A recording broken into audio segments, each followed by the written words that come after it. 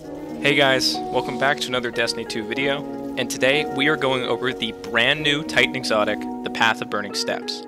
Now this exotic literally just came out, so if you can manage a 1310 lost sector in the EDZ, go farm this out as soon as you can.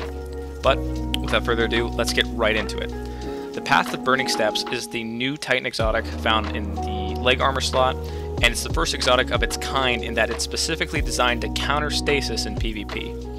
Whether or not it effectively does this is another question, and in addition, it also introduces a brand new perk called Firewalker, which has potential uh, competition with uh, stuff like Phoenix Cradles or Hallowfire Heart with specific Sunspot builds, but it can also be used on any Titan subclass. So if you wanted to use this with Stasis in the Crucible, you could. If you want to use it with, for example, Thundercrash for whatever reason, you can go ahead and do that. There's a lot of variability and options with this exotic, which is really nice to see.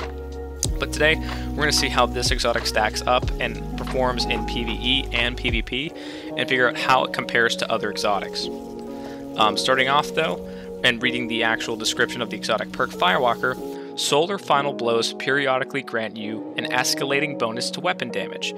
Also, you are harder to slow or freeze with stasis, and when you break out, you take no damage from doing so, creating a burst of solar energy around yourself.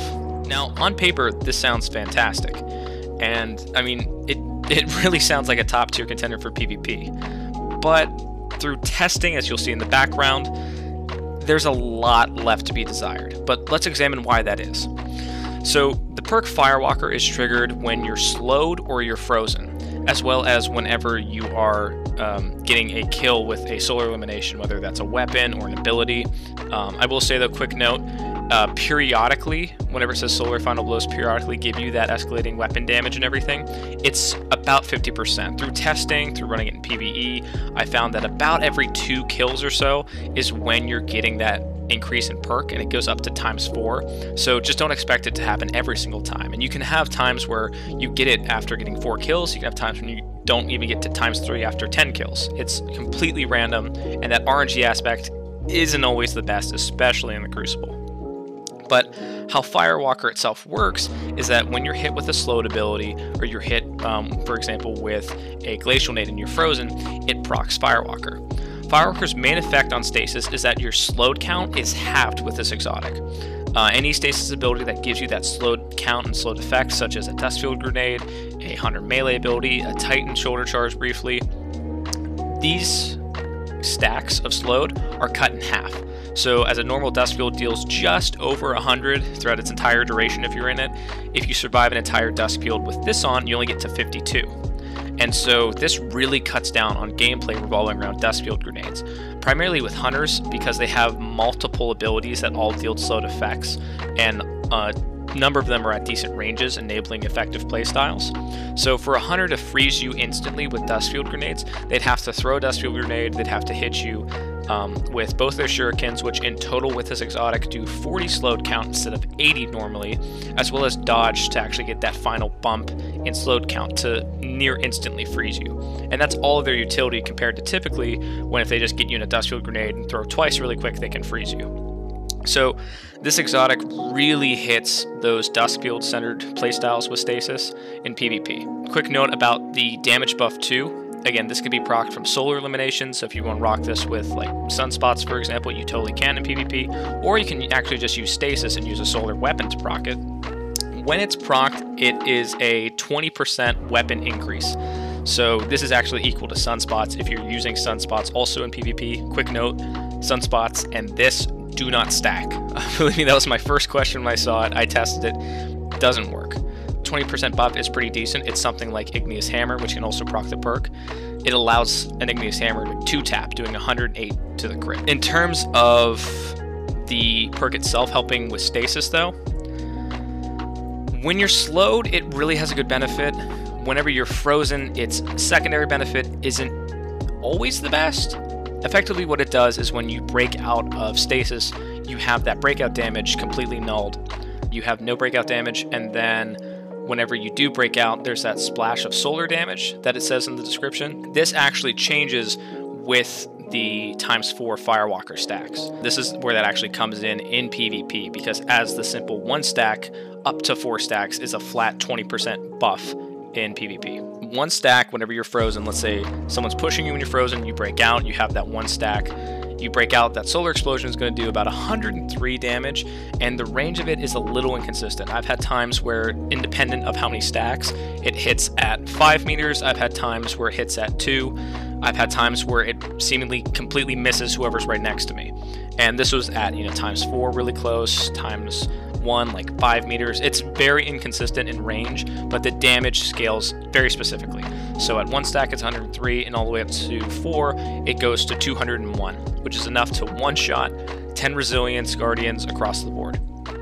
Uh, typically, though, you're not going to survive getting frozen or slowed four times. One of those is going to kill you, especially when you consider that you have to get frozen again or have a RNG solar kill to reproc the ability. It's unlikely that you're going to get to times 4, especially in PvP. Um, in PvE, it's much easier to achieve, especially with uh, already present solar builds in the game. But in PvP, it's fairly decent. Again, the problem with the perk is that it's RNG based for eliminations, and you do have to be using solar weapons. For the season, something like Igneous Hammer, that's perfectly fine. I mean, half the people are using that anyway. But you do have to rely on getting eliminations fairly quickly with that. And the problem with getting frozen is typically when you're frozen, you're going to die 99% of the time. No one's really going to let you just break out and then approach them, or if they do freeze you, they're not always going to run right up to you and just wait there. They're typically going to go to a really fast swap option or like a glacial slide or a shatter dive to finish you off very quickly. And again, this exotic doesn't help with your breakout time. If you get frozen by a glacial grenade, your breakout time is still 5 seconds. If you get frozen by a Warlock Staff, you're still frozen for 1.4 seconds. It doesn't help you break out any faster, at least not from my testing. It wasn't anything significant or noteworthy. It's just when you do break out. And that's really a problem because, again, especially in higher level PvP, when you are frozen, you are dead. Many people just take their hands off the keyboard and take a second because it's that severe. And this doesn't really help you break out, it just helps you when you do break out. And that's the main issue. Um, again, it is really neat though that you can rock this with other subclasses. I thought this was going to be exclusive to something like Sunspots, for example, on the uh, Sunbreaker Titans, but you could totally rock this with Stasis and then kind of run around freezing people while you yourself have benefits from being frozen, if that makes sense. Uh, I do want to point out when you are frozen, the Hellfire perk itself has a random chance to give you that damage buff. So there is a chance that when you break out, you get that 20% weapon buff. But again, it's it's random. You don't know if you're going to have it. So in PvP, I think it's good, but it's definitely not a meta maker, quote unquote. Um, and realistically, getting frozen is not something that you want to build a benefit around. It, I think it'd be much better if it just simply uh, helped you break out faster or gave you an overshield when you broke out, for example, I think it'd be a lot better. Just because when you are frozen, you're going to die most of the time. Another thing that I did test is if when you're slowed, you actually move faster. One of the biggest things was with uh, Silence and Squall on Hunters. That slowing after effect is very, very deadly. Unless you have a movement option to get out of it, you're going to die as soon as it touches you. This does again cut the slowed effects in half so you won't get frozen by this but you don't move any faster so you'll still die to the natural base damage which again is a little bit unfortunate because in the areas when you are slowed you're still just as vulnerable it just takes more of that effect or a longer duration of that effect to actually freeze you so it's decent I would say. Moving on into PvE though, um, being frozen basically never happens outside of messing around in an Empire hunt for a little bit, and its damage of that solar explosion when you do get frozen is equal to a thermite grenade at best, even at times like two or three. I tried testing out a solo Empire hunt to see if I can get to times four being frozen that often, and just seeing that damage effect, but again, it's really hard to do in PvE, and that damage is so limited in its range and its actual potency that it's not even worth considering if you're going to be rocking this for the fire explosion in PvE. What you are going to want to do is use this with an already existing solar build, and for Titans, I would recommend just simply swapping out Phoenix Cradle if you feel like putting this on for a little bit and rocking with this. Um, the buff that you get at times 4 is a 35% weapon buff, which is actually on par with stuff like Weapons of Light, and is even better than something like Well of Radiance, for example. And having that just simply for getting solar kills, which again, if you already have a solar build with Phoenix Cradles, for example, is something you're doing all of the time, and you're still getting Sun Warrior, just not getting it for 10 seconds. Um, getting to times 4 is very, very easy.